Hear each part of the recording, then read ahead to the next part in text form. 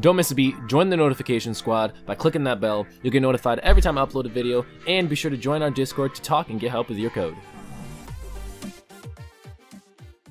Hello everyone, my name is Sebastian and welcome back to a brand new video on the Source Code channel. In this video, I'm going to be showing you how you can handle errors in JavaScript. Handling errors is something that some people might think is unnecessary because you need to know when you get an error because then you know where to fix your code. But that isn't always the case. So I'm just gonna show you what it's used for and some other stuff. So error handling is done by using try, catch and finally.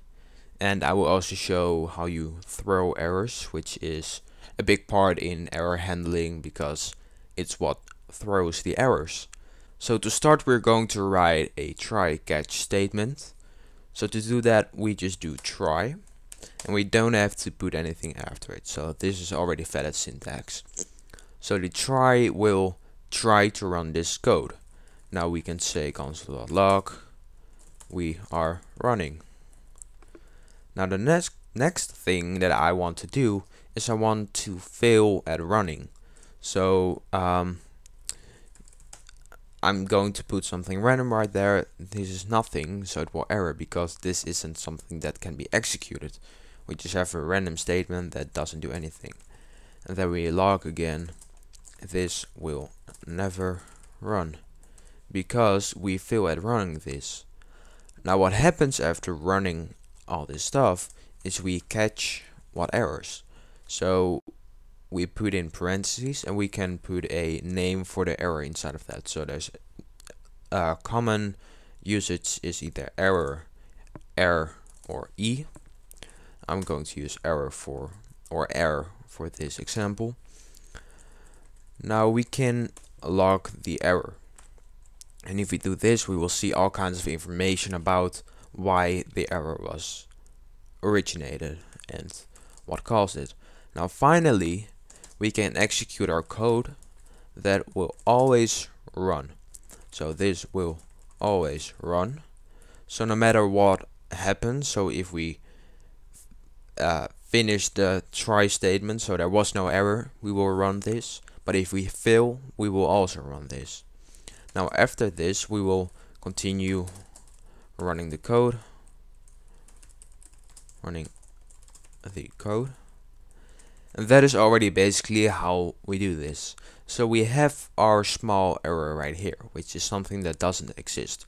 So if we want to execute this code, we would see we are running, which is the first thing, we are running. Then after that, right after, we get the error because something is not right here. So what we do is we say reference error failure is not defined at sketch.js4. So my file's called sketch.js. So what we can see is it says reference error failure is not defined.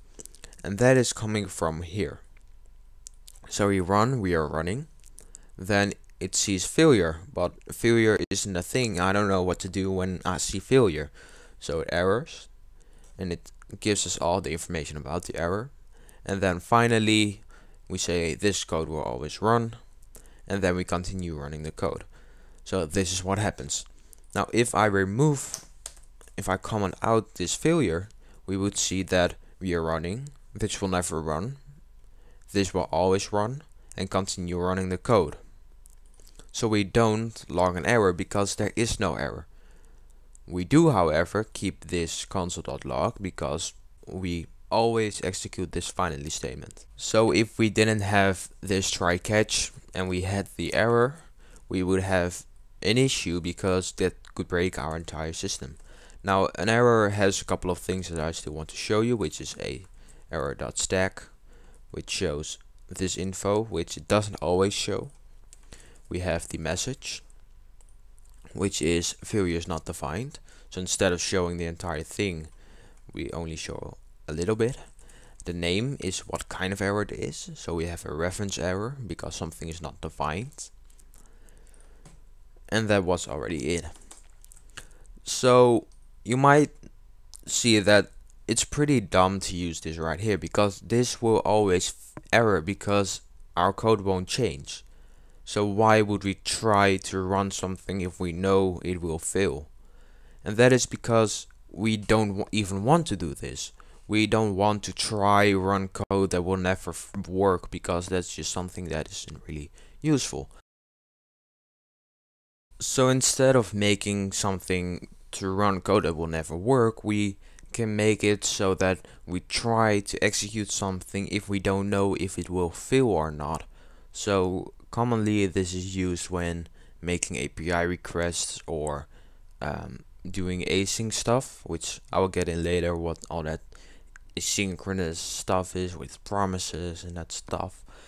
But basically, um, you try to execute something that may fail if something goes wrong, but you don't know what can go wrong. So it isn't just something wrong in your code, it's something wrong that you don't know will happen. So if we write a function, and I'm gonna use a, a weird example, um, welcome message, and we want a name, and honestly I want uh, a hobby. And age. Name age and hobby. What some developers might do is if something is uh, the wrong type so instead of having name as a string it would be a number you would throw an error and that could cause issues by crashing our entire site or node project. So what we could do is we could try to execute that stuff. So we could manually check outside of calling this function if all the required data is valid, but we could also check it inside of this function. So what we could do is um, we could say if the type of name and type of returns a string that holds the type of the um, uh, uh, value provided. So we check the type of name and it should be a string. So if it's not a string, we would throw a new error that would say um, um, name must be a string.